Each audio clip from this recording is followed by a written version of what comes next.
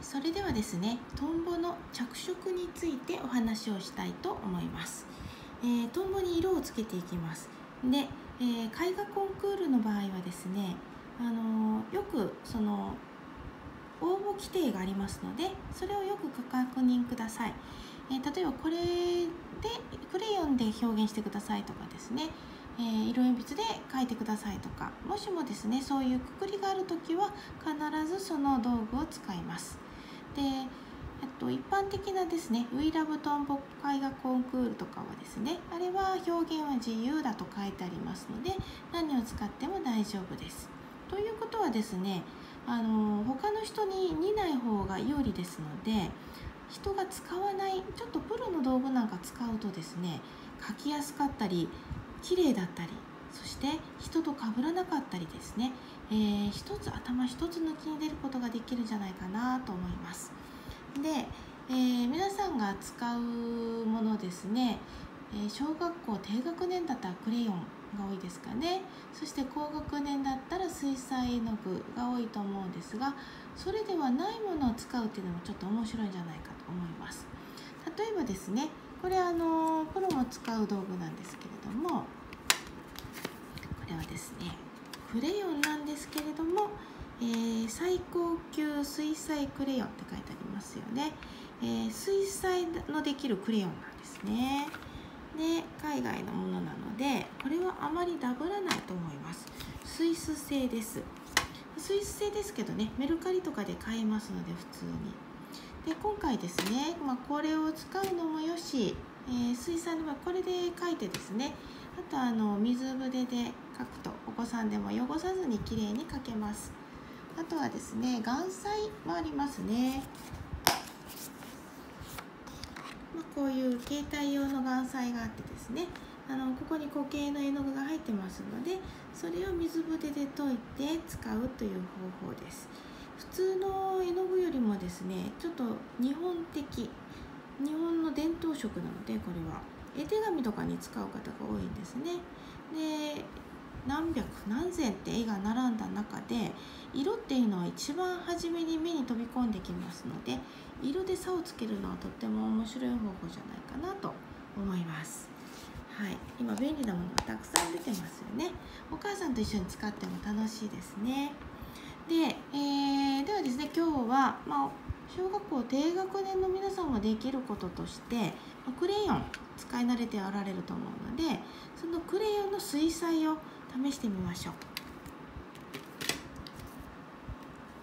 で、えー、お子さんが描きたいなと思うトンボの種類をですね図鑑でよく観察して、えー、腹部は何色だね羽は何色だねっていうのを、まあ、計画していけばいいと思うんですがじゃあですね今日はこれで書いていきましょう。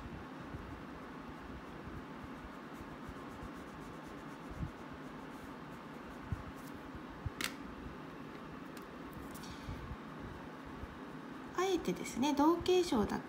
けど色を変えるっていう方法ありますよね。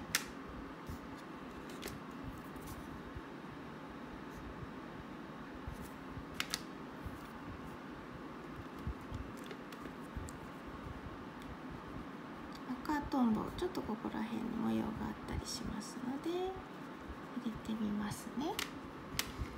そしてえー、これのいいところはですね水彩クレヨンってグラデーションが綺麗に出るんです。でじゃあ今日は手もこの根元のとこだけオレンジにしてちょっとグラデーションの様子を見てみましょうか、まあ、4分の1ぐらい色つけるんですね。そして水筆水筆は中にですねお水が入ってますのでこれをチュッてするだけで色がつきます。はい。ではですね色の薄いところからいきます。ここを解いてそして周りに伸ばします。ほら綺麗なグラデーションできますね。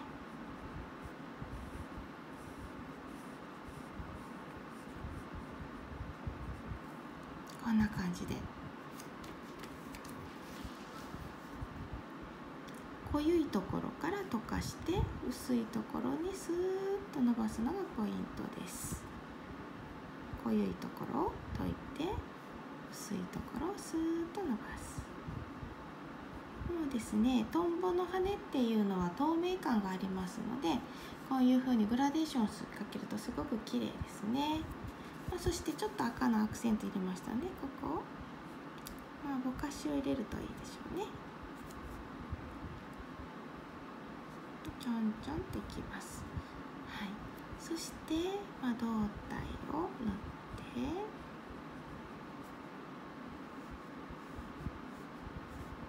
ここもですねグラデーションかけると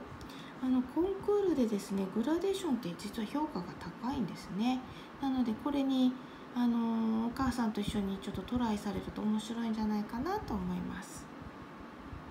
はいここはグレーを塗ってました。赤をつけたのでグレーを塗るとちょっと渋い赤になります。はい。このようなですね、えー、表現方法ってあんまり他の方されないので